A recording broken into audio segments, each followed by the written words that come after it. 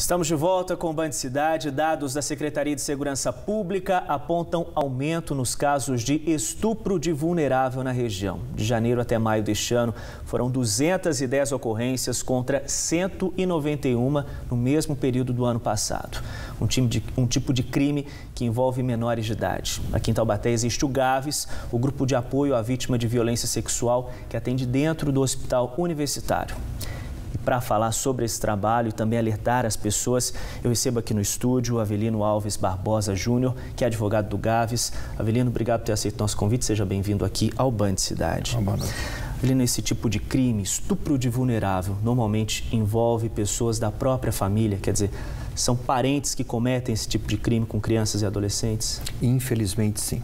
Na realidade, os pais, geralmente a mãe, só fica sabendo quando a, a vítima, a criança, conta para a amiguinha, conta para a vizinha e é a vizinha que vai contar para a mãe. Então é um crime do silêncio, do silêncio e um crime que acontece dentro do lar. Agora, Avelino, claro que esses números assustam, né? A gente tem aí o caso de 210 ocorrências de janeiro para cá, né, aqui na nossa região. Mas isso também mostra que esses casos estão vindo à luz, né? Não estão ficando mais sob a escuridão do medo e da impunidade. As pessoas pessoas estão sendo mais encorajadas a denunciar esse tipo de crime, né? É, isso é um fator muito importante, porque como é um crime dentro do lar, geralmente há uma desconfiança. A criança está mentindo, não é verdade, e a própria vítima é levada para fazer uma acariação com o próprio criminoso, que é o pai padrasto, tio. Então há uma inocência muito grande. Isso está acabando e as vítimas, isso é, os representantes das vítimas, estão indo no Conselho Tutelar, fazendo boletim de ocorrência. Então esse dado é muito importante porque esse crime do silêncio já não está sendo mais do silêncio. Avelino, e como identificar, né? A criança dá sinais de que ela está passando por algum tipo de violência sexual. Como é que a família pode identificar esse tipo de crime? Alguns sinais que nós observamos no grupo Gaves é o, o rendimento que havia dentro da escola deixou de acontecer. E quem fala isso são as professoras que falam diretamente para a mãe. Por que, que diminuiu? Então fica triste, chora, não quer conversar com ninguém. Esse é o sinal de alerta, alguma coisa está acontecendo. Então é muito importante analisar como está o perfil psicológico da criança dentro do lar. Agora, uma situação dessa, é claro que abala uma família inteira, uma situação super complicada. E felizmente tem trabalhos como o do Gaves que as pessoas conseguem encontrar amparo para poder auxiliar, contornar uma situação como essa. Como é que é o trabalho do Gaves, esse apoio que vocês oferecem às vítimas e também às famílias? Nós acolhemos a vítima que vem de origem ou da delegacia da mulher, ou então da polícia militar, ou do conselho tutelar, e essa criança é analisada nós passamos por atendimento psicológico, temos médico, temos a enfermagem, um trabalho para entender o, o caráter psicológico, porque essa criança adquiriu um trauma. Então, nós trabalhamos com o estresse pós-traumático, para depois encaminhar para um serviço de psicologia da cidade ou do consultório particular, caso a vítima tenha condições de pagar. Agora, são questões que acontecem na infância, mas que vão deixar marcas para a vida inteira, né?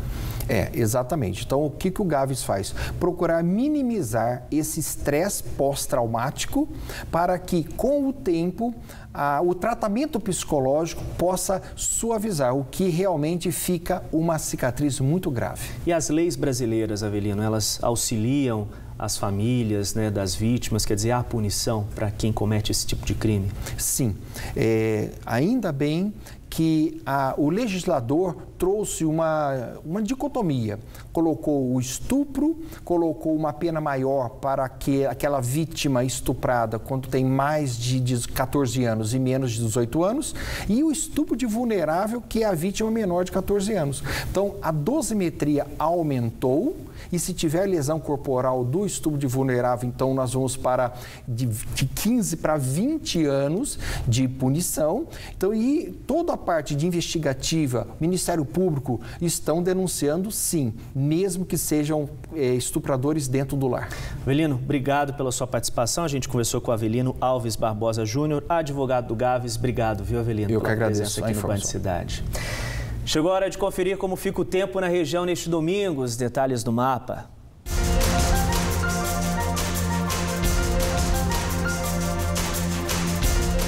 Domingo ensolarado na Serra da Mantiqueira. Campos do Jordão, palco do Festival de Inverno, que começa neste fim de semana, marca mínima de 6 e máxima de 18 graus. Em São José dos Campos, máxima prevista de 26. Lagoinha registra máxima de 25. Em Lorena, domingo de sol. Os termômetros marcam máxima de 27 graus. Rumo ao Vale Histórico, máxima prevista de 26 graus em São José do Barreiro. Neste domingo, claro que vai dar praia no litoral norte. Em Caraguatatuba e Ubatuba faz máxima de 28 graus amanhã. Hoje fez 26 graus de máxima em Cruzeiro. Os dias seguem ensolarado na cidade e as temperaturas estáveis. Na Serra da Mantiqueira, a temperatura segue amena. Santo Antônio do Pinhal marca máxima de 19 graus. Em Ilha Bela, amanhã faz 28 graus de máxima. E a partir deste domingo, o valor cobrado nas, cabines de pedágio das rodovias estaduais de São Paulo vai ser reajustado. Na Carvalho Pinto, no trecho de São José dos Campos, a tarifa fica 10 centavos mais cara. Já em Caçapava, aumento de 90 centavos. Na rodovia dos Tamoios, reajuste de 10 centavos no trecho de Jambeiro. Em Paraibuna, o aumento vai ser de 20 centavos. Também amanhã começa a valer o reajuste cobrado no embarque das balsas que operam na travessia São Sebastião e Ilhabela. Nos dias úteis, a tarifa sobe de R$ 18,50 para R$ 19,00. E aos finais de semana e feriados, a cobrança vai ser de R$ 28,50.